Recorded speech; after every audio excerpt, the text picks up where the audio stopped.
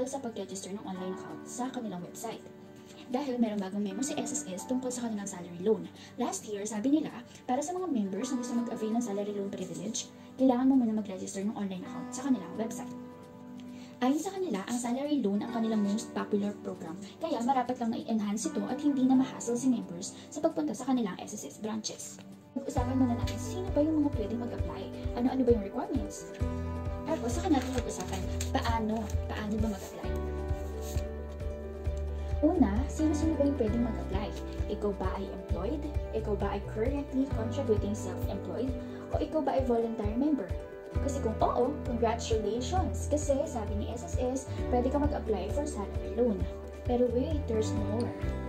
Ang salary loan, dalawang klase yan. Una ay ang tinatawag na one-month loan. Pero kailangan meron kang 36 months contribution at yung last 6 contributions mo dapat ay within 1 year from the time na mag-a-apply ka for loan. Halimbawa, ngayong April ka mag-a-apply, unang-una dapat ay meron ka ng 36 months contribution. Plus, from May last year hanggang April this year, dapat ay nakapaghulog ka na ng 6 months. Pangalawang klase ay yung 2-month loan ni SSS. Ganun din naman ang requirements ni SSS. Kaya lang, dito sa 2-month loan, dapat ay 72 months na yung total contributions mo. Pangalawang requirement, dapat updated ka sa pagbayad ng contributions mo. Pangatlo, wala ka pa dapat final benefit. Ano-ano ba yung final benefit na tinatawag? Pwedeng total permanent disability, o kaya ay retirement, o kaya naman ay death benefit. Pang-apat, dapat ay hindi ka pa 65 years old. Pang-lima, at ito yung pinaka-last, syempre, dapat ay hindi ka disqualified ni SSS for fraud.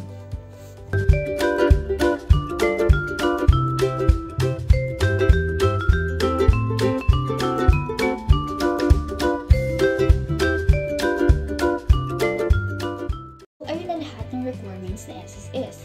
Ngayon naman, ituturo ko na sa inyo yung step-by-step procedures kung paano mag-apply gamit ang inyong cellphones. Yes po, cellphone. Sa last video ko, naturo ko na sa inyo kung anong application na gagamitin natin, di ba? So ngayon naman, buksan na natin yung app. Dapat ay ganito ang makikita nyo sa inyong mga screens.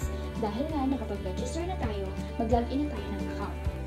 So kung nakapag-login ka na, ito dapat yung makikita mong homepage just click yung My Loans, then yung Apply for Salary Loan. So, lalabas dito kung magkano yung loanable amount mo.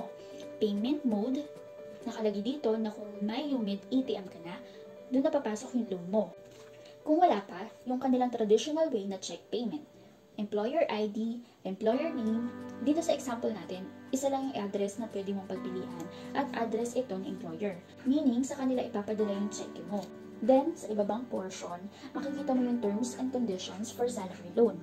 Pag click mo yung box, lalabas na dito yung full terms and conditions bago ka mag-accept. So, ano-ano ba yung nakapaloob dito?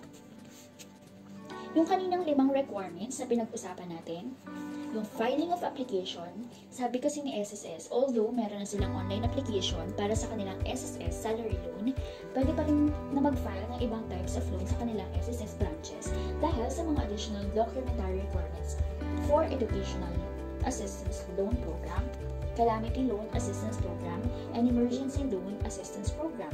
Dito sa terms and conditions, nagbigay rin sila ng guide for loanable amount.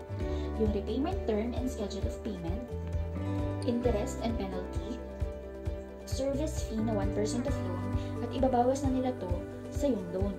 Meron din dito mga detalye tungkol sa loan renewal, responsibilities of the employer, responsibilities of member borrower, deduction of unpaid loan from benefits, ibabawas na ni SSA sa bago mong loan yung balance mo sa dati mong loan. At panghuli, yung other conditions. Then, click na yung accept at proceed. Ganun lang kadali mag-apply ng salary loan. Dito na rin sa app, makikita natin yung status ng ating application. In my case, ang una niyang status ay submitted for employer certification. After that, nagsabi ako sa HR about it at agad naman sila na-certify. Pag-check ko kinabukasan, approve na yung status niya. Sana natulungan ko kayo sa video na to. Maraming salamat. Good luck!